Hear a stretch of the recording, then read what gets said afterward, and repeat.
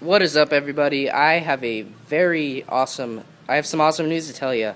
Um, since the um, Gourami passed away, I decided to um, get some awesome angels instead.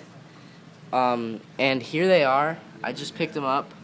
They've been in the tank for like five, ten minutes now, and they just chill together. But look how cool they are. Um, they were labeled as silver striped angels and I got these two for eight bucks each.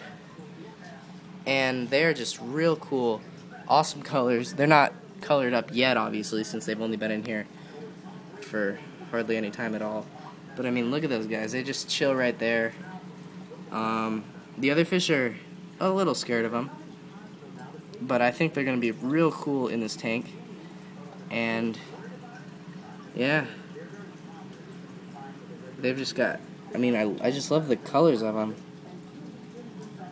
I didn't want any kois or anything. I don't like the way those look. And um, my local fish store had these, and I just was like, "Yep, I want these ones." So they just they hang out together and they they flow as a pack, and they'll go around and the other fish kind of get out of their way.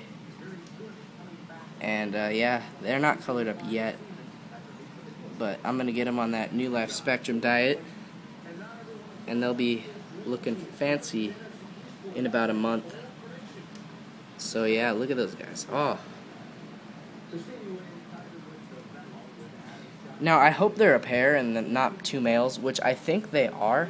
They're either two females or a pair because, like they, they're real nice to each other. They don't bite each other or anything like that. They just run around together. Um, I'm going to try feeding them a little bit tonight just to see what they do. I have to feed these other fish anyways. And um, yeah, real cool. Um, I mean, the the fake plants and stuff, I don't really care. I like this tank for the fish, and I'm not going to go out of my way to plant it and dirt it and everything. So, yep. There you go.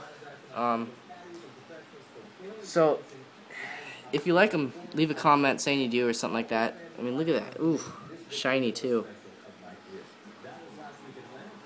There you go. The local fish store actually had a 80 gal 84 gallon tank for 80 bucks. I was amazed at that deal. Alright, I just want to show you guys my new fish in the 36 gallon. Um, once they color up, it's going to be real cool. I just love the way they just go around as a pair. And, alright, that's it. Later.